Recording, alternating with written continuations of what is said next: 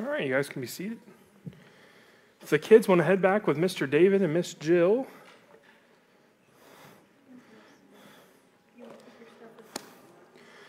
those that got baptized today, see me afterwards because I have your uh, certificates. So don't forget because I probably won't remember next week.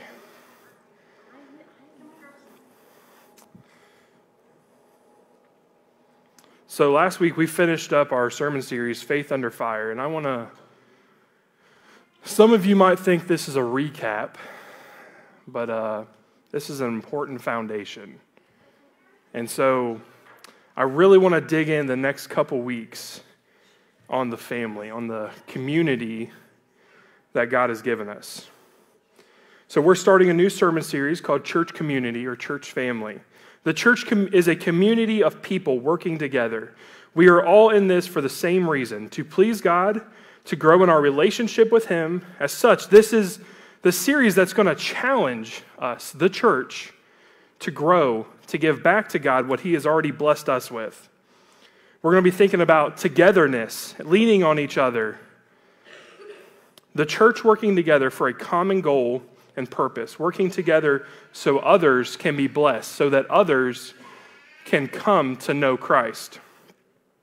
Let's pray. Father, I just thank you for this day. I thank you for every person that's here in this magnificent day that we got to share with uh, Ellie and Calvin as they, uh, they showed the world that they are following you, Lord. And I am just over the moon today. Father, I thank you for your word. I pray that these words be yours and not mine. I pray that you would open up hearts and minds today. I pray that you would bless our tithe and offering and that we would be good stewards of it. And Father, I pray for the ones that are watching online, Lord, that, uh, that couldn't be with us today, that you would watch over them and bless them. And Father, I pray, I pray for every pastor out there today, every church that is preaching biblical truth, Lord. I pray that you would just give them boldness I pray that you would give them the strength and the courage to bring forth your message because you have laid it upon their hearts to deliver today. Father, we thank you and you get all the glory and the praise. And we pray this in Jesus' name. Amen. If you have your Bibles, we're going to be in Acts chapter 2, verse 42 through 47.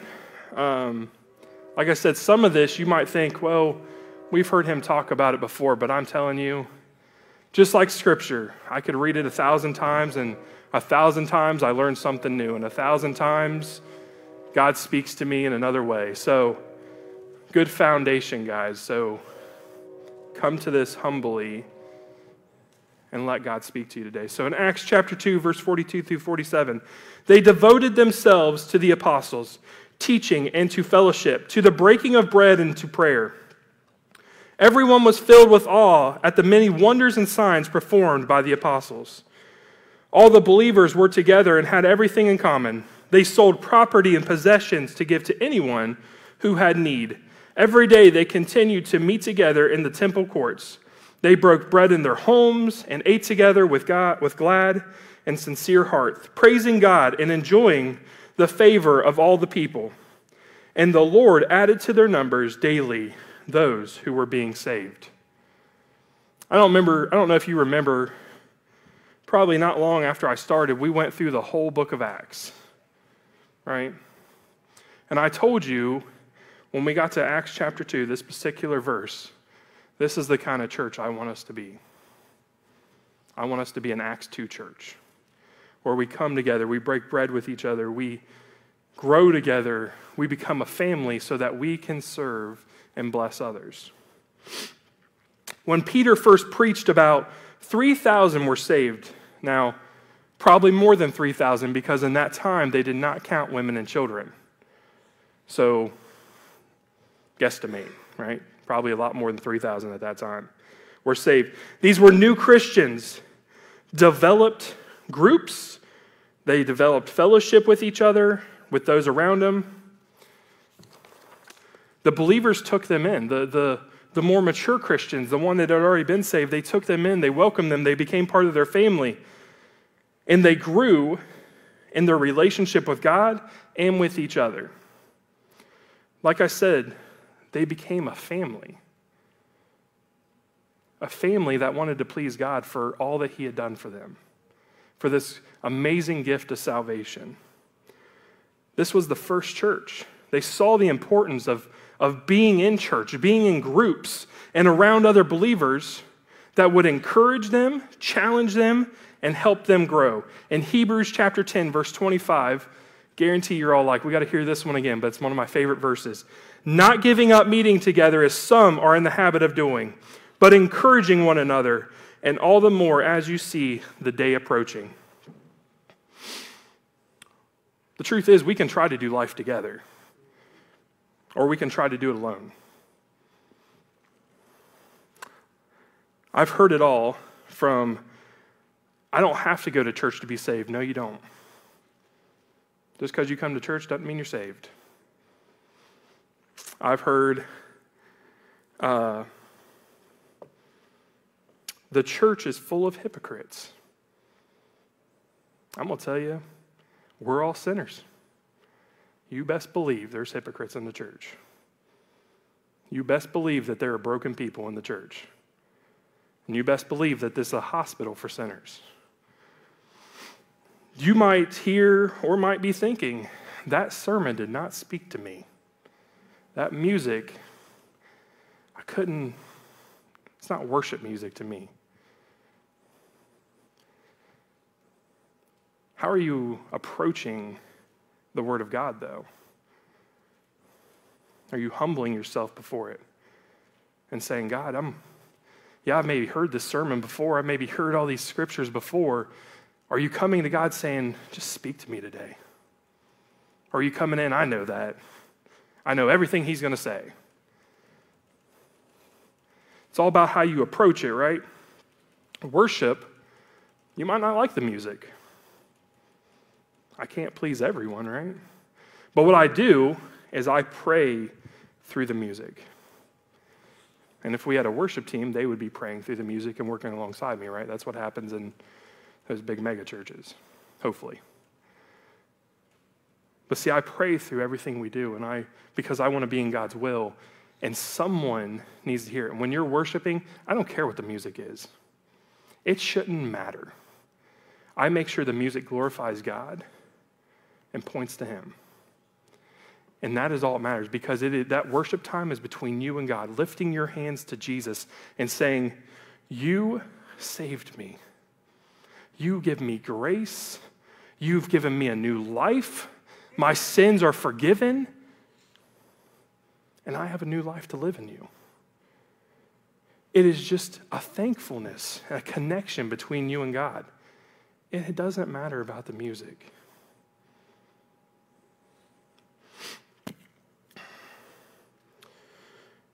See, all of these things that I mentioned now, you don't have to be saved to go to church. You know, if you go to church, you're not saved. There's people in here that are broken, every one of us, even me. People will let you down in this church. I will let you down. You will let me down. It happens. Different personalities clash together. If you're married, you know what I'm talking about. me and Jenny, we are completely two different personalities, and we butt heads, right? Most of the time, I say you win. But the point is, is we're doing life together, and life is messy. Life can be messy. But we are supposed to walk it together. All these things are true, but when you we are stronger together, a family here to help each other along through life. Now, when you're alone, you're vulnerable. You think of pack animals Killer whales, I, for some reason, I'm really obsessed with killer whales on YouTube. I don't know what it is. I enjoy watching. They flipped a, a stingray like 100 feet in the air with their tail. It was amazing. But, getting off track here, but they, they, they call them a pod, right? They're a pack.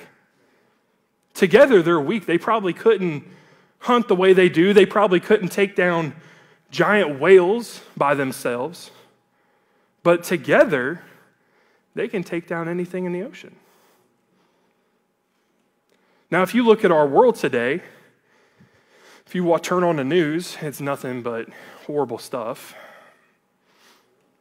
Our government's in shambles, the world's in shambles, everything's just kind of out there. Together, we're vulnerable. But united together as a community, as a family, we are strong. And we can take a stand against things that we don't, that Scripture tells us is not right. Right? Like I said, we're all sinners. This is a hospital for sinners. In addition to that, we're all at different stages of our, of our walk. Each and every one of us. There might be one that just got saved. They're just starting out. There might be some that are more mature and they're able to, to run full sprint, trust God in everything. We're all at different stages. One can help the other. Discipleship, we can help the other. And eventually, that person you're discipling, that you're like, oh, well, they were, they're so new, eventually they'll start discipling you and they'll start bringing people in to disciple. We each have abilities and we're given talents to use. So, no matter where you're at in your walk, it doesn't matter. You're part of the family.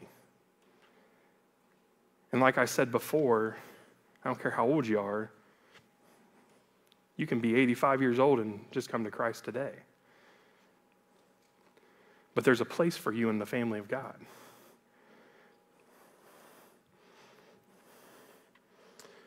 Again, we must remember that we are all in different places and in our different walks of life. In Romans chapter 3, verse 23 through 24, for all have sinned and fall short of the glory of God, and all are justified freely by his grace through the redemption that came by Christ Jesus.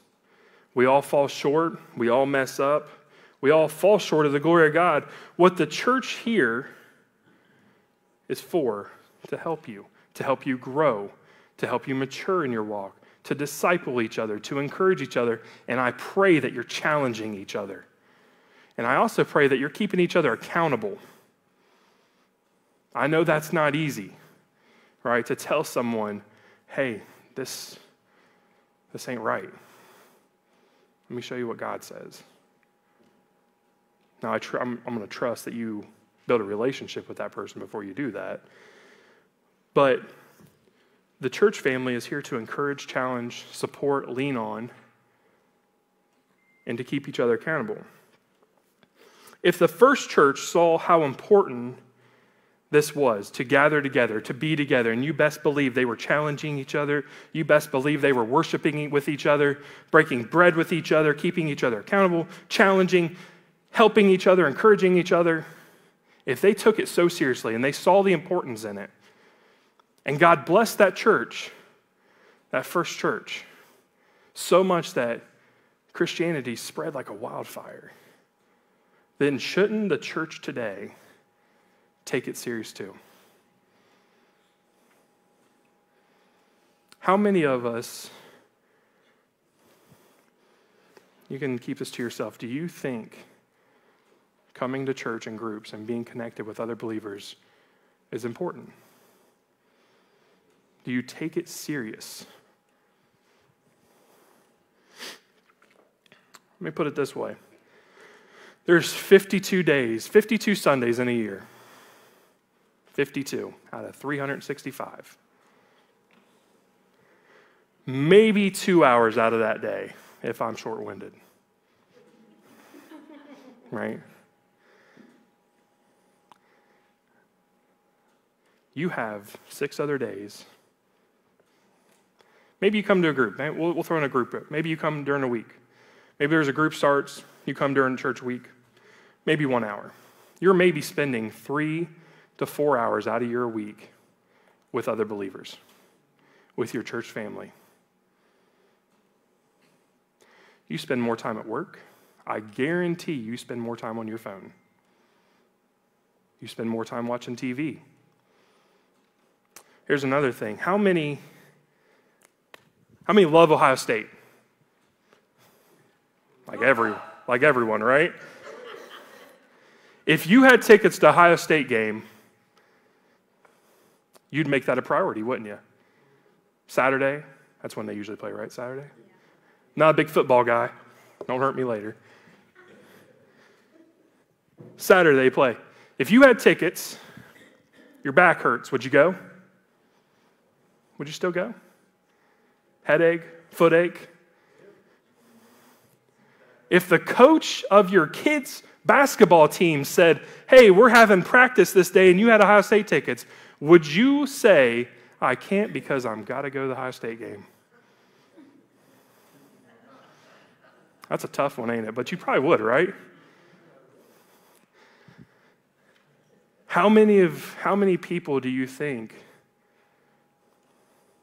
would do that for church? And would you do that for church?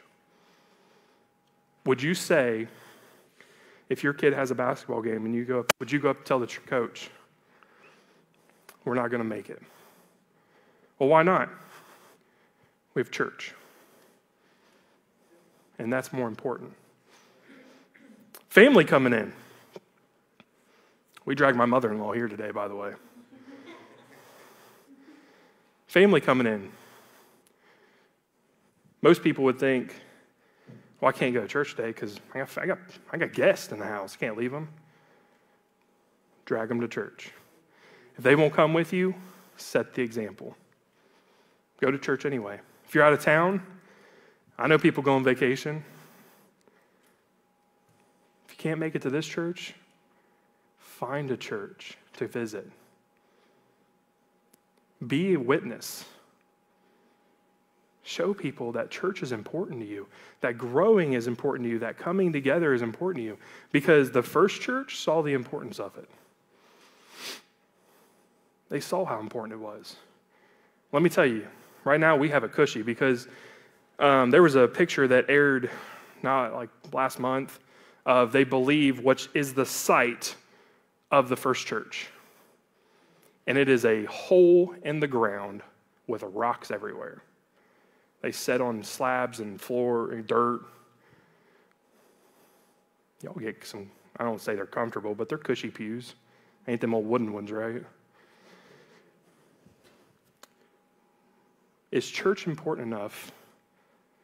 Because we all know most people, if they had Ohio State tickets, they would go, no excuses. But when you wake up in the morning, are you making excuses not to go to church? Not to be around other believers? Think about things that you absolutely love. Do you make excuses not to go to those? Probably not. Like I said, most people spend more time playing on their phones, watching TV, when you could be connecting with other believers, growing in relationship with Jesus. So, after all this, after the first church would meet, they would grow with each other, they broke bread, they studied the Word of God. What did the first church do after that? Because we're not just supposed to come and meet and that's it. Church is for you to grow and for you to serve and give back what God has already given you, right? The first church, as they grew, got a servant's heart. They got a servant's heart. They gave of themselves, their time, their talents, their finances, possessions. In Isaiah chapter 6, verses 5 through 9, it says, Woe to me, I cried. I am ruined, for I am a man of unclean lips, and I have lived among a people of unclean lips. And my eyes have seen the King, the Lord Almighty. Then one of the seraphim flew to me with a live coal in his hand which he had taken with tongs from the altar. With it he touched my mouth and said, See, this has touched your lips. Your guilt is taken away, and your sin atoned for. Then I heard the voice of the Lord saying, Whom shall I send? And who will go for us? And I said, Here I am, send me. He said, Go, tell this people. Here we see Isaiah. He is in a vision, standing before the mighty God, standing before the King of Kings, the Lord of Lords, standing there witnessing his amazingness, his awesomeness, right? And he says, I, I don't deserve to be here. I'm, I'm unclean lips. I, I don't deserve to lay eyes on him. And what happens? the, the seraphim comes over and he atones, and God forgives him of his sin. Sin was atoned for. Each and one of us, when we give our lives to Christ, our sin is wiped clean, slate clean, washed, washed white by the blood of Jesus. What is your response to that? And it's not a one time response. What is your response to that? Is it thank you and I go about my day? Or is it here I am, Lord, send me wherever you see fit? Whatever church body you want me a part of, whatever serving you want me a part of, whatever you ask me to give, here I am. I will trust in every part of it. We all know, and we're going to touch on this more, but we all know that God tells us if we're not giving 10% of our finances, that we are robbing God. And that when we do give 10%, that He will open the floodgates of heaven and pour out more blessings than which you can hold. The only area He says, test me in this. What is your response? Are you going to be like the first church and say, I'm here to give my time, my talents, my possessions, and I'm willing to do whatever you say I need to do, God, because I trust you and I am so thankful for the salvation that you have given me, the sin that you have atoned me for? What's your response to him?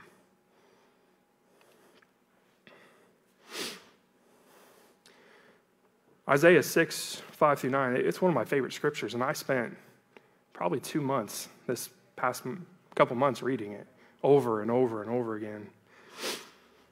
Isaiah was so thankful for salvation and being forgiven that he said, basically, whatever you want, Lord, whatever you would have me do, whatever you would have me give, I trust you, and I'm so thankful for this gift of salvation that I'm willing just to be used. He saw what God had done for him. And some of the ways that we can thank God is to worship, is to worship together, come together, and then giving of our time, our talents, and our possessions. In Luke chapter 12, verse 48, but the one who does not know and does things deserve, deserving punishment will be beaten with few blows. From everyone who has been given much, much will be demanded. And from the one who has been entrusted with much, much more will be asked.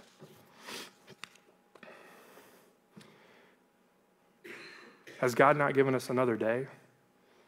We all woke up this morning, breath in our lungs. Has He not given you everything that you have? Has he not given the car that you drove in here on? In, not on, in. Hopefully it was in.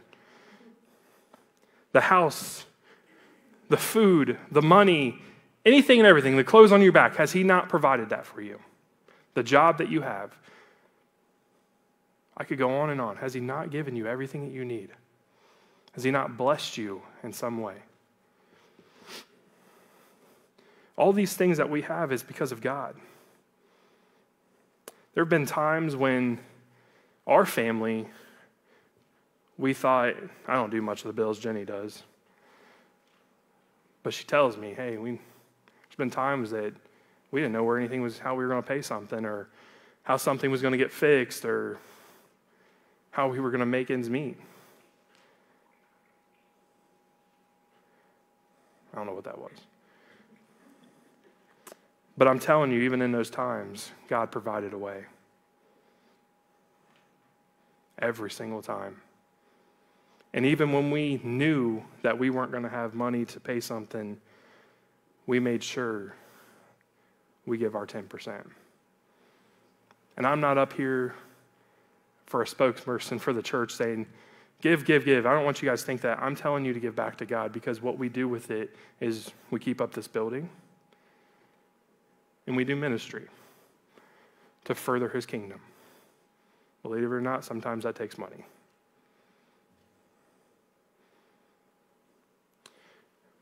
God always provides. In Proverbs chapter 3 verse 5 through 6, trust in the Lord with all your heart, lean on your lean not on your own understanding, In all your ways, submit to him, and he will make your path straight. Sometimes it won't make sense. Sometimes when you get that, you get your paycheck for the week or the month or whatever, and you're like, oh, I got to tithe my 10%, and you're looking at your bills and you're like, this makes no sense how this is going to work. Do it anyway. Lean on His understanding. Because I'm telling you, by the end of the month, you're going to be like, God, I don't know how you did it, but you did it.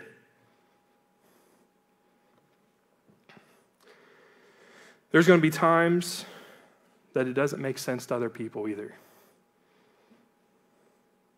When we came up here, it made sense to no one. But I know God's trustworthy. I know his character because I can read it in his, I can get face to face with him in Scripture. I've seen him provide for me day after day. And I know that he's got, he's there for me. And if I just am obedient and I trust in him, that he will provide for my family and me. So even if, oh, if it doesn't look right on paper, if it doesn't look good to others, and you're sitting there thinking, this doesn't look right, trust that God knows best. He knows how to provide for you, He knows exactly what you need. It might not always come the way you want it to come, but He will provide. In Proverbs 11, chapter, or I'm sorry, chapter 11, verse 24, one person gives freely, yet gains even more. Another withholds undoubtedly, but get comes to poverty. The first church was so thankful for the gift of salvation, and they wanted to be used by God. So they gave of their time, talent, and finances, and they did that, and they were able, not only because they read scripture and had a personal relationship, but because others in the church challenged them, encouraged them. And they also, when you come to church, guess what? You get to see the blessings. You get to see blessings that God bestows on other people. Maybe you get to be a blessing to one of those people. Being like the first church and coming together, giving is a way of showing our love for God. Going to church is an expression of our love for God. It is where we gather together publicly to show our faith that we trust God, that this is what we put our hope in, our faith in, something that is required of all Christians. The church is also where we can praise, thank, and honor the Father. I'm going to give you a few reasons. Well, I'm sorry. Here's let's do this story first. Here's a short story that I found. I have no idea who the author is. But it says, I do not I don't go to church anymore. They're all hypocrites, Tara said to Pastor Tim. On more than one occasion, Pastor Tim had heard this sort of comment. He'd be first to agree the church is made up of people who were not perfect. Neither was he, for that matter. But each time Pastor Tim heard such comments, his heart would break because he knew the incredible value of doing life together with the body of Christ. Pastor Tim had long ago learned how Satan uses people and circumstances to disappoint Christians and pull them away from the very people God would use to bless, train, and encourage them at church. But recognize the enemy's schemes did not ease the sorrow of his or any other pastor's heart for his people.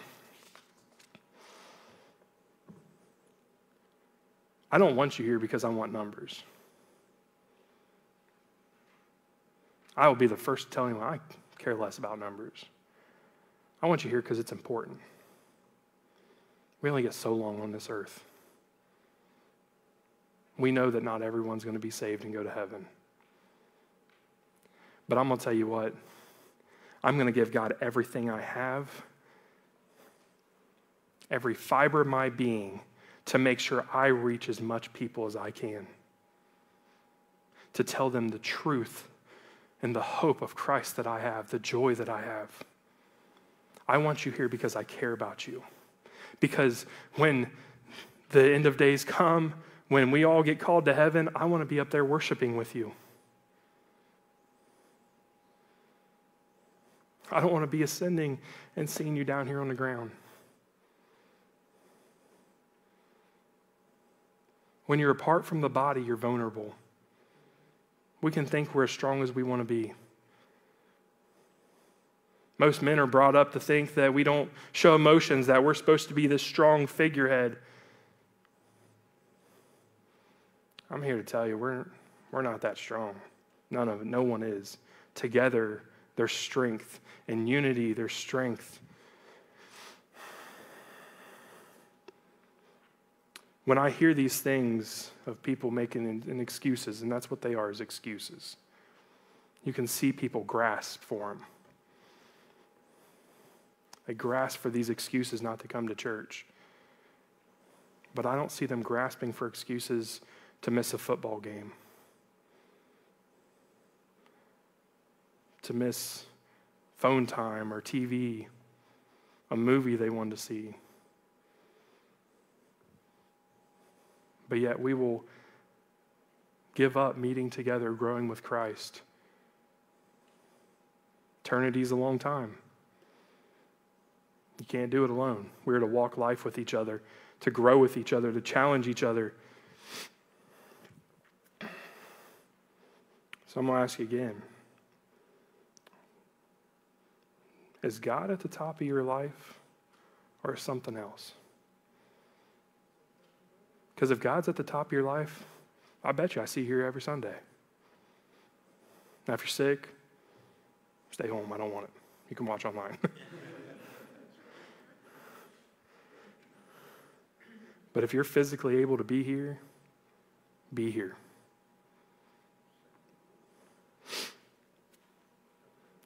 You're never really that busy. Something can always give.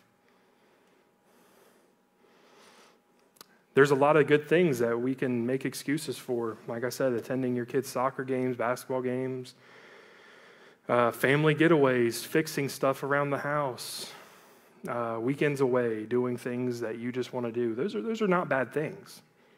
They're not. But remember what I told you too is if one, we're a pack. We're uni- if we're united, we're strong. Together, you're we- or alone, you're weak. And it's a slippery slope. When you miss a Sunday, it just starts going. Before you know it, I haven't seen you in a year. Also, if we're to be witnesses to the world, no matter where we are, being a witness is making God a priority. Oh, I've got family and I don't have time for a Bible, reading my Bible. You better make time because that's witnessing. Well, they're here on a Sunday. I can't go anywhere. You better go somewhere. I'm out of town. I don't know any of these churches. If you're away from a, you can't get to a church, we stream online. 90% of the churches do. You can find something to watch. Not only that, but in America, there are churches on every corner. Find one. Look them up online. Look at their doctrine, see what's close, what preaches, preaches good biblical doctrine, and go visit it. Show them that God's a priority in your life. Don't be a captive to activities around you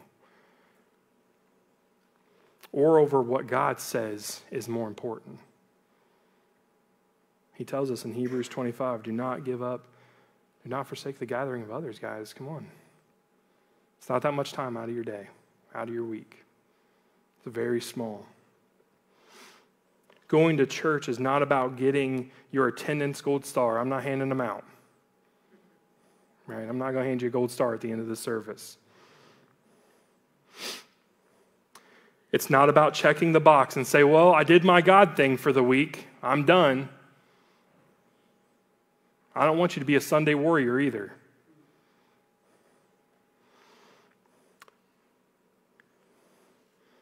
Nor is it about getting God's favor for the week because you assemble together.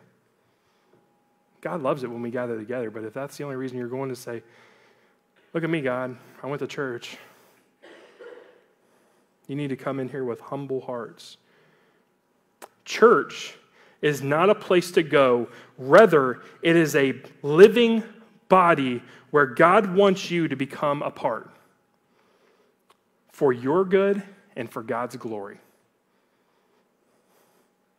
It's not just a place, we are the church. so, what's some reasons why to go to church? Number one is to hear the preaching of the word.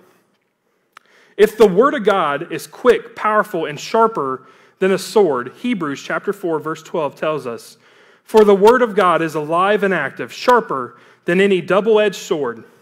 It penetrates even the I'm sorry, penetrates even to dividing soul and, and spirit, joints and marrow. It judges the thoughts and attitudes of the heart." Because of this, hearing the preaching of Scripture is vital to your spiritual well being. Guys, this is why I don't just tell stories up here. I pack it full of Scripture because, most importantly, I want you to hear the Word of God. Now, the bits in between, God gives me those words, but most importantly, I want you to go home and I want you to study these Scriptures. Really study them. Like I said, watching, watching preachers on TV is often how people justify going to church. If you're physically unable to get here, I completely understand. Watch online. That's what it's there for. If you're out of town and you're on vacation, say you're at a cabin, that's the only way you got to get to do church, then do church that way. But if, if you're able to make it here,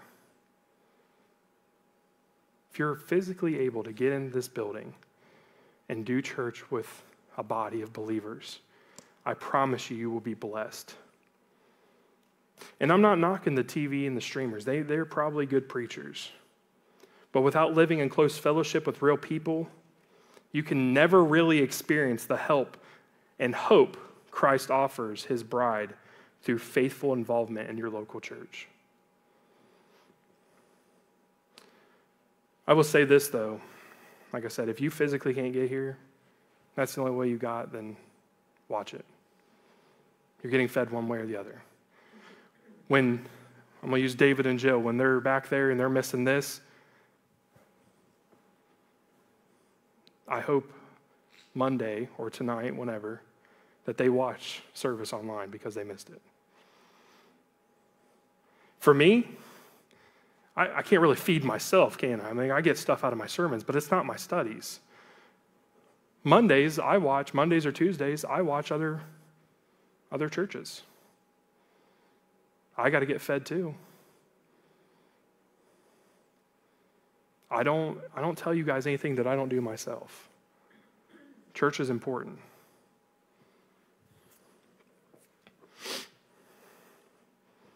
Online is a wonderful resource. But even at that point, if you physically can't be here, I still want you connected. Reach out.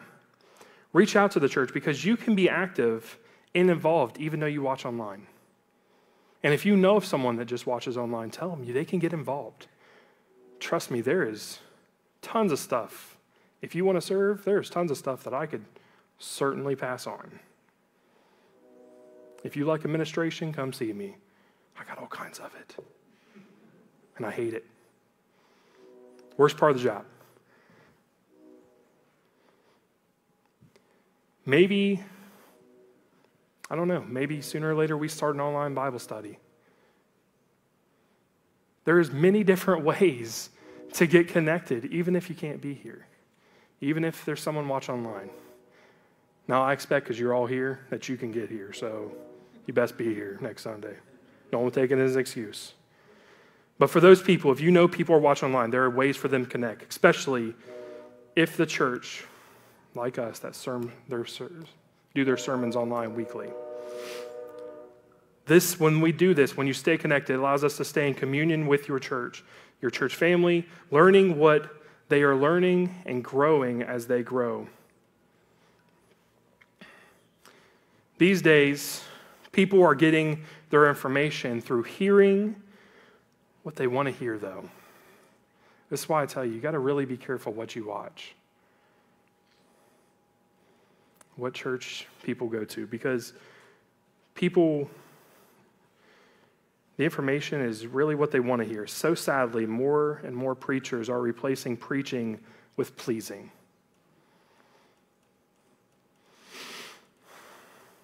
They please them to keep their butts in the pews. God never instructed his ministers to entertain the troops. Rather, he commanded them to preach truth with urgency. Now, I've told you time and time again, I'm not up here to please you. I'm not up here to tell you what you want to hear.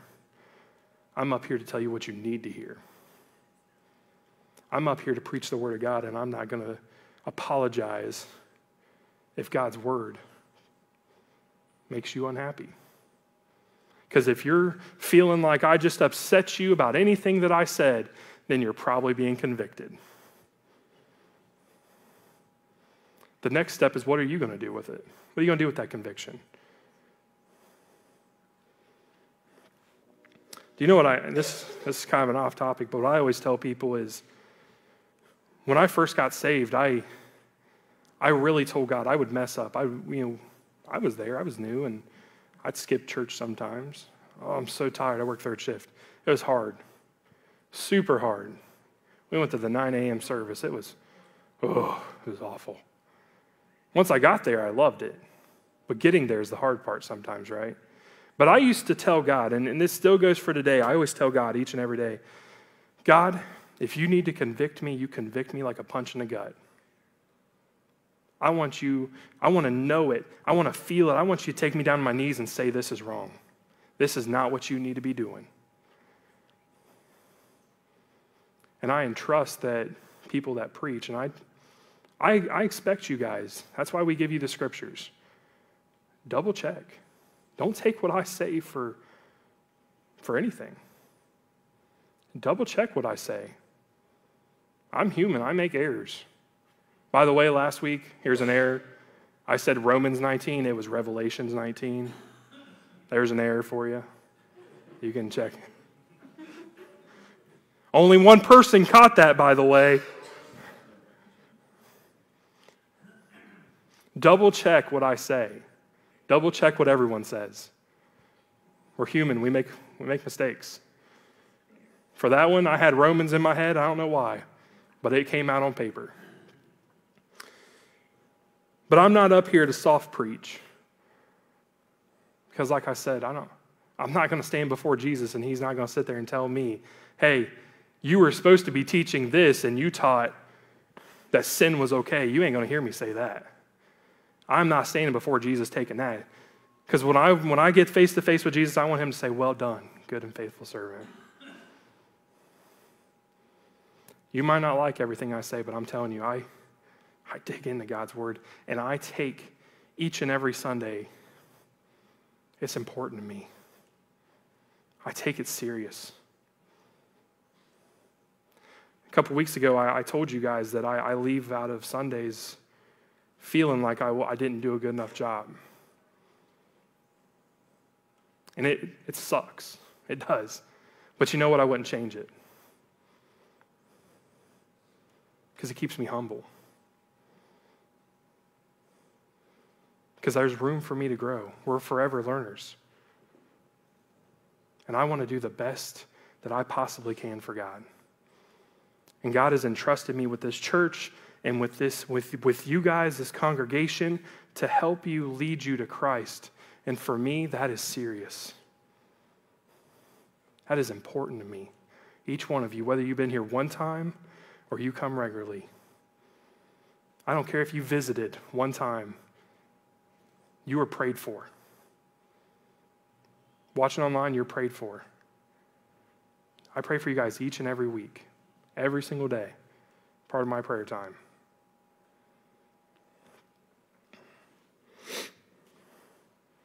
We can't sit here and sugarcoat the Word of God. He instructed preachers to, treat, to preach with truth and urgency. And I, if you're visiting today and you feel like, and I don't care if someone's watching online, they're just watching online, and they go to another church. The best thing you can ever do is to look at their doctrine make sure it's biblical. And if you know a friend that's not going to a biblical church, pray to God and ask Him, how can I show them that they need to be in a church that does?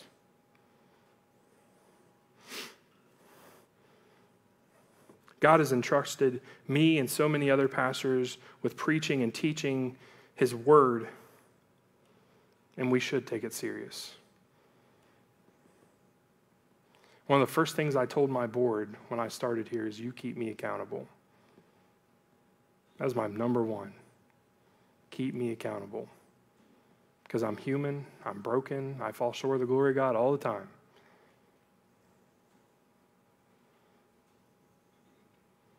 You can ask anyone I meet with. I usually don't sugarcoat anything.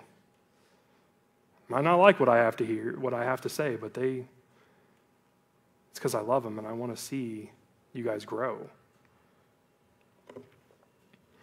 Like I said, I will not apologize for what God says is truth and right. And when people, when pastors are speaking truth, even you guys, when you tell someone after you have a relationship, make sure you have a relationship, it's what community is about relationships.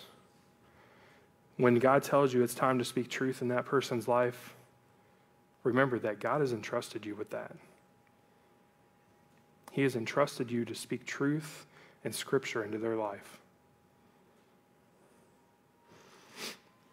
It is through preaching of sound doctrine that comes directly from the Word of God, of which penetrates hearts and transforms lives, calls sinners to repentance, encourages the down and out, inspires the Lord's servants to love and to serve Christ, lights the way God would have you go.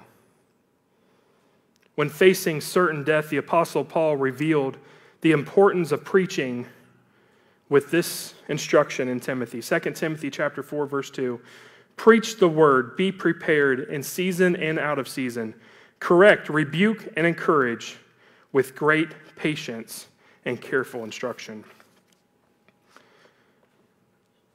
The best advice that I was ever given, and I will ever give anyone, and it was by, I kid you not, this, her name was Miss Peg. She's this tall.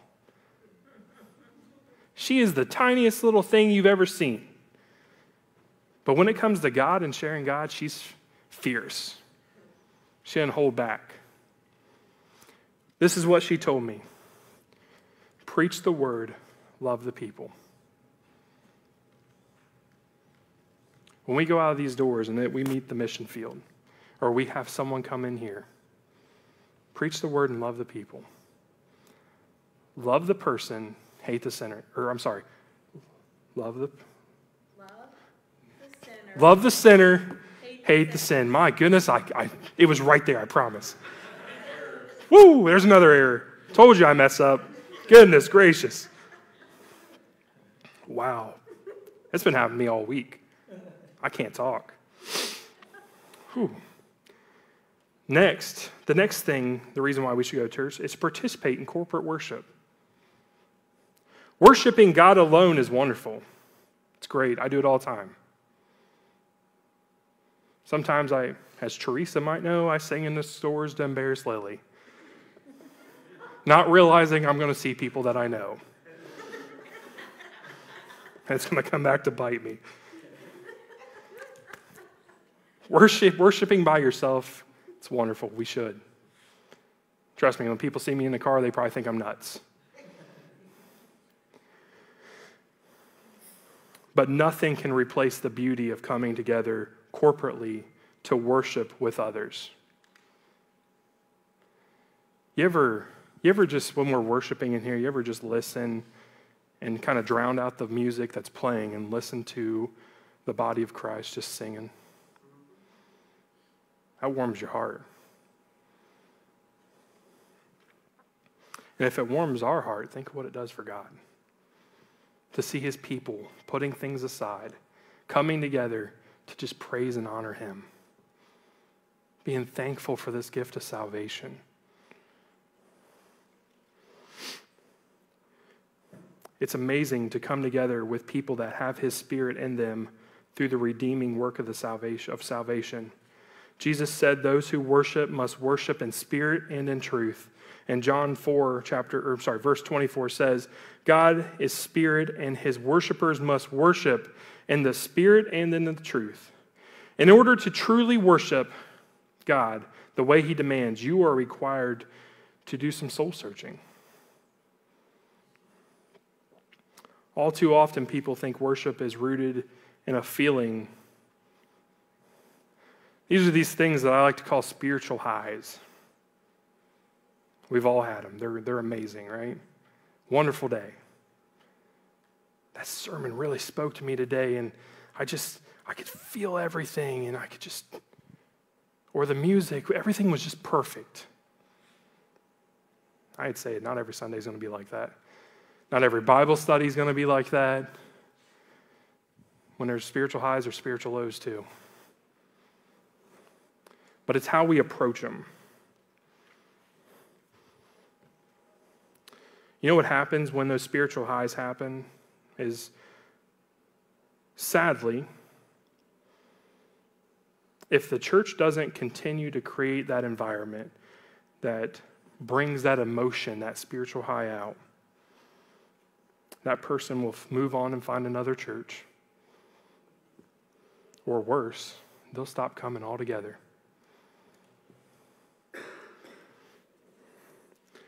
Not everything in a sermon or in the music is going to give you this spiritual high.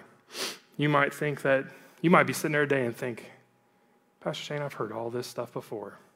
I know it all. You ain't telling me nothing I ain't never heard before. I'm here to tell you People have been preaching for 2,000 years. I ain't telling anyone they not, not heard before. But it's important. Because God can speak to you. But if you ain't here, He ain't going to speak to you. If you come with a wall up saying, I don't need to hear what He has to say, I've heard it all before. And you don't come in here humble thinking, God, just speak to me today, How's he going to get through? Because you just put a wall up. Everything's got to be a heart response. I'm here to tell you that we are all in need of a reminder of foundations.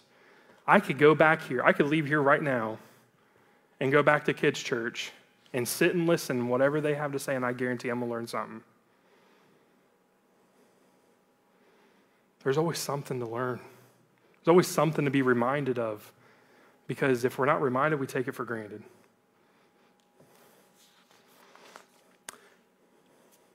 We need to be reminded of the foundations and many other things.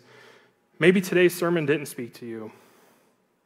But like I said, that one you missed because that one didn't speak to you, you're like, I'm not going this Sunday because that one didn't speak to me. God can't talk to you at that one.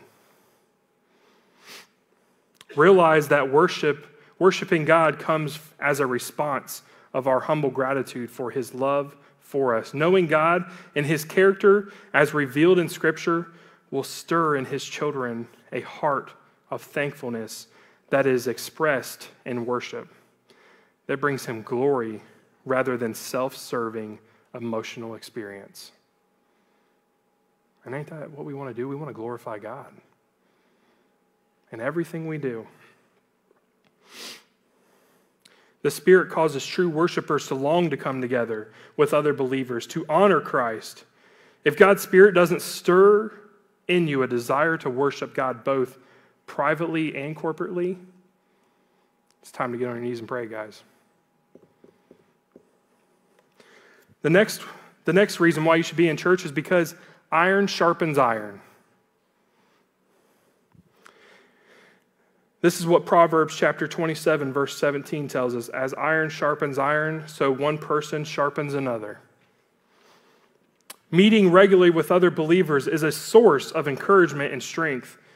But know this when iron rubs with iron, it not only makes it sharper, but it also flings sparks. Sparks happen. We all have different personalities. You are going to bump head with someone. It's going to happen. Work it out. Life is too short to be angry at a believer or with anyone, truthfully. If you and your spouse get in a fight, do you just leave it? Now I can't I can't do that. If I get a, if someone upsets me or I upset someone, I'm a fixer. I, I love to I gotta fix it. Sometimes Jenny just needs me to stay away. And I can't do that because I'm like right up in her business. what can we do to fix this? We need to fix it. It makes it worse. It makes it, sometimes it makes it, gets me in a lot of trouble. But listen, guys, we all have different personalities. Sooner or later, someone's going to let you down. You're going to let someone down. You're going to bump heads. It's going to happen. If you can't work it out amongst yourselves, come talk to me. We will work it out together. I promise. Life's too short. It's way too short. And I guarantee, you know what I always think? That person that I bump heads with, I always think, that's who exactly who God's going to plant me right next to up in heaven. exactly. He's going to say, Yep, you bumped heads with that person. We're going to put you right here.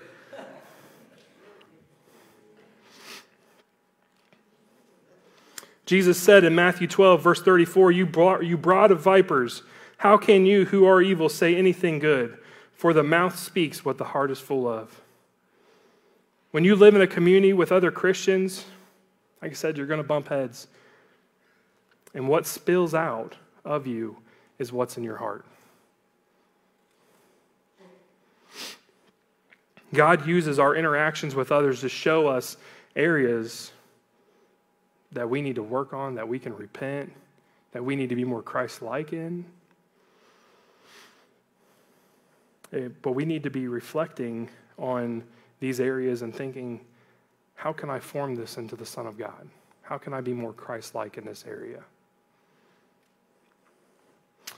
Working alongside Christians in a church fellowship is a wonderful way to grow your love for God and for others.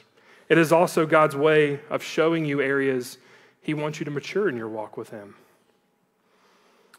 If you've stopped attending church because people hurt you, don't measure up to your expectations, or are hypocrites, know that the enemy has you right where he wants you. He doesn't want you to go to church. Trust me, there's days I wake up. I think every day this week I woke up with a headache and I'm like, man, I could just stay in bed today. I don't always feel like coming up here. But when I do, I am time I get here, and I've prayed, God's got me in the right headspace. Because Satan's goal is to divide and conquer. He wants to split you apart from the body of Christ, keep you separate. Because when you're separate, he knows he's, you're vulnerable. He can, you're vulnerable to his schemes and his tactics. And he knows if he throws something, it's more than likely going to stick. Satan will use your lack of love for God's people to pull you away from God.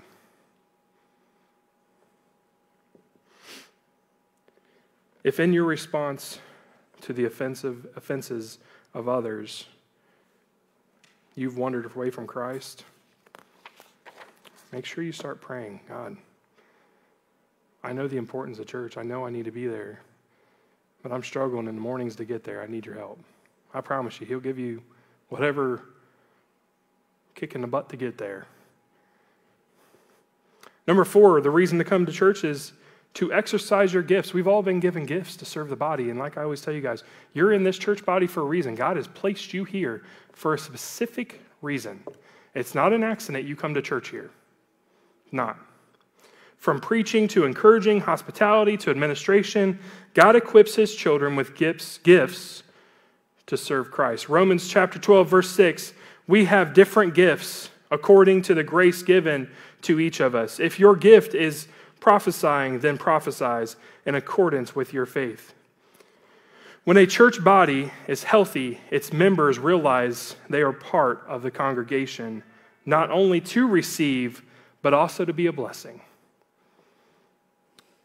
At some point in your walk, you're going to go from give me to how can I give back? Isaiah's response Here I am, send me.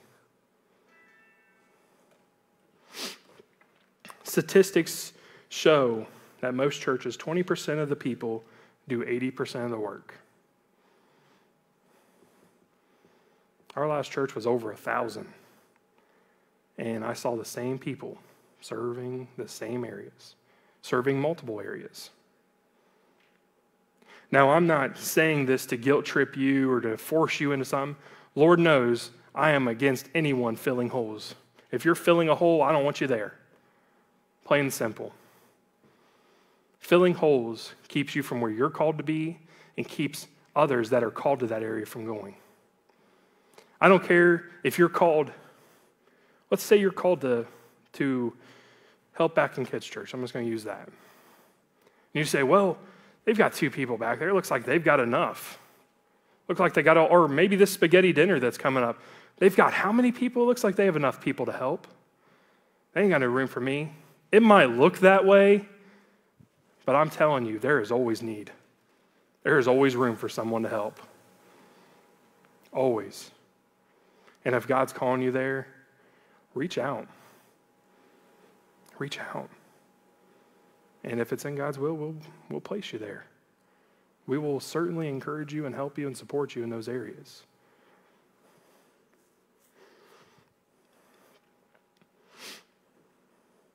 Ephesians chapter 2, verse 10 says, For what, what are God's handy, handiwork? created in Christ Jesus to go do good works, which God prepared in advance for us to do. Like I said, many of us see work happening in the church and we think it's all together. They don't need me. They do. Whether it's just come and chat, whether it's you're giving gifts that maybe I'm not good at. For instance, I am horrible at administration. It is no secret. I absolutely hate it. There's other people that are better at it than me. Those are well received, I will say. If you look closely, you'll discover many individuals who are doing more work than what they would simply like to be doing. There's always room. Get involved. Jesus tells us in his day, Luke chapter 10, verse 2 tells us, He told them, The harvest is plentiful, but the workers are few. Ask the Lord of the harvest, therefore, to send out workers into the harvest fields. People, the harvest is ready. People are hungry for the Word of God. There is works to be done. There are many things that we can do. The problem becomes is if your willingness. There can be a thousand great ideas, but if I don't have the talents, the time of people, and the, the finance, we don't get to do these things. It is up to the congregation, the church, to be obedient and to have willingness to do what God's called them to do your willingness to minister in your church with what God has gifted you is likely to answer someone's prayer. It's to answer someone's prayer that to send more workers to help. It is to answer someone's prayer that they need a blessing. It is also going to answer the prayers that we've been doing every Tuesday at 7 to reach the lost. When you start giving of yourself, your time, talents, and finances, then we get to truly hit the mission field. And we truly get to reach people that don't know God. Next, kind of goes along with this to be a light in our community is a reason to go to church. Jesus said, The world will know we are disciples by our love for one another. So, of course, Satan wants to destroy any sense of love and of community in the body. When we commit to loving God and loving others, the light shining from your Christ honoring love is what the Spirit can use to draw others to Christ. You want to know why the first church grew in numbers daily? Because they were willing to be obedient to God's calling. They were willing to come and meet together and be united in everything that they were doing. The ministries they had, the, the finances, the talents, the time, the meeting together to worship. They were willing to do all these things, and God blessed it. And He kept sending people because He said, This is a healthy church. I can send people here, and they will get the biblical knowledge. They will, get grow, they will grow with them. They will be able to lean on them. They'll be able to serve. That's what we need to do here, guys. We can always do better at it. Anyone can. We can always do better. Matthew chapter 5 verse 16 says, "In the same way let your light shine before others, that they may see your good deeds and be glorified and glorify your Father in heaven." Be a witness, guys, cuz you say you go to church, you say you're a Christian, they watch. People watch. And they're going to watch how you live your life, how you handle situations, what you do with your finances, your time, your talents. They're going to watch. And the moment you're obedient, that spark sparks another and another.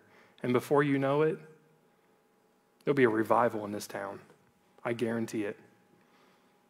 Guaranteed. Because the truth is, is everyone is looking for acceptance. Everyone is looking for a place to belong. The harvest is ready. People are hungry for the word of God, whether people want to admit it or not. They all long to know to be, to be loved and a place to belong. When God's people commit to fiercely loving each other, uniting together, coming together, using their time, talents, and finances, and forgiving each other when they do bump heads. Their love will be a light that shines brightly. And all I'm asking is let it start here. Let it start here.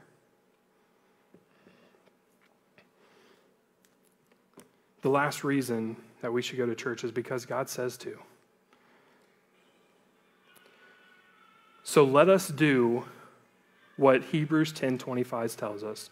Not giving up meeting together are in some of the habit of doing, but encouraging one another at all and all the more as you see the day approaching. I want you to think of the underground churches in different countries. I remember this story of a Chinaman. He was explaining how they had to sing hymns no louder than a whisper. We just we could have blown the, the roof off this place today, and no one would have cared. They can't sing no louder than a whisper.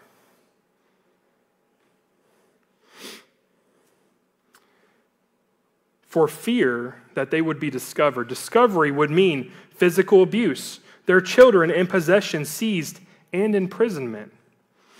Yet still, they didn't give up meeting together. Also in China, it's not across town. It's not 30 or 40 minutes down the road. It's 13 hours at times. And imprisonment is involved. Maybe worse, death. And yet we take for granted that we get to meet openly. We get to openly worship God together.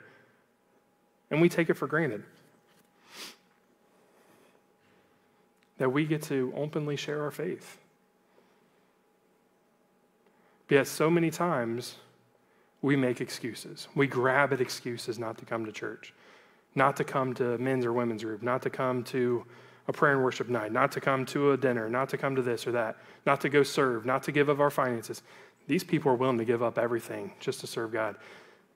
A few years back, there was an underground church over in Pakistan and they were meeting in a basement of a house. And a reporter went down there from America and they said, they said, What's your biggest fear? That we're going to be caught and killed. And they said, Well, what happens? And they say, We will stand our ground and boldly say that we are followers of Jesus Christ. And I'm talking kids that are five years old, willing to stand there boldly and say, I am a follower of Jesus. But yet today we make excuses in America to come to not come to church. Think about that. We have the freedom to do that. We don't have to worry about being killed. We don't have to worry about imprisonment, anything being seized, our children being taken away.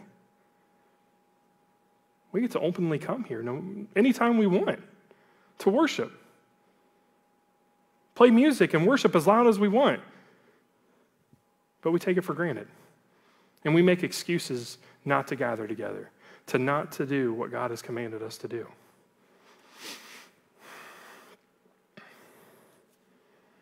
I'm not telling you this to guilt trip you at all.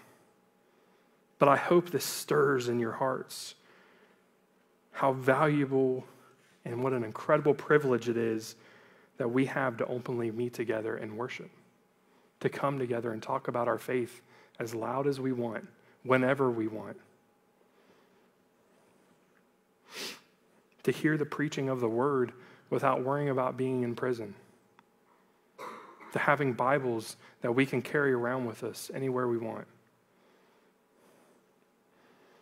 My prayer is that God would capture our hearts in a new and fresh way. I pray that His Spirit stirs up a zeal in our church that and of commitment to meeting together with God's people, to praise Him, to love others, to shine brightly the hope of Christ to a generation who is in desperate need of it. People are hungry for the Word of God and they want to hear it. Are we willing to be like those underground churches? To wrap things up, make God a priority in your life. Church is serious, it's valuable. There's strength in unity. Let's be a witness to the world. Let's not give up meeting together. If you're not a regular attendee, I want you to, I want you to pray and make that a goal that I'm going to go to church regularly. And if you don't think you can do that without making excuses, find someone that can keep you accountable. Also, invite someone. Maybe you don't want to come to church alone. Like I told you before, 80% of people come to church because someone else invited them, not because of me. Invite someone to come with you. If you physically can't get out and you're watching online, invite someone to watch with you. If you know of someone that's watching online, make sure to point to talk to them about the service that day. Make them a part of the community. As we're all in, God will be glorified when we are meeting together and giving of our time, our talents, and our possessions, just like He did the first church. And just like the first church, like I said, there'll be a revival, and He will add to the numbers daily. Because a healthy church community attracts others to Christ. So we're going to replay a song. The altars are open. Maybe you struggle with coming to church. Maybe you can't get here all the time. Maybe you reach for these excuses every Sunday or every time there's an event or a group. Pray and ask God to help you. Maybe you struggle with sharing and inviting people. Maybe you're struggling with the finance part. If you want scriptures, I'll give you the scriptures. Pray and ask God to help you with that. It's the one area he says, trust me in. Maybe it's where to serve. There's many areas to serve in the church right now that could desperately need some help. Pray about where God is wanting you to go, what he's wanting you to do. Each one of you have talents. Share them. Maybe it's maybe you're doing all the other things and maybe you have trouble struggling out in the out in the world sharing your faith. Ask God to help. Ask Him to use you, and I promise you He will. He'll open up them doors and make them as plain as day. Ask for strength to come through them. So the altars are open. You can worship. You can come to the altar. If you don't want to come by yourself, grab someone. Drag them up here. Maybe you don't even have a relationship.